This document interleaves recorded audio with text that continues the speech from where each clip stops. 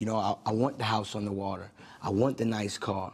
I want the nice watch. I want to stay fresh. I want to stay clean. You know what I'm saying? There's nothing wrong with that. It's, it's, you should strive for greatness.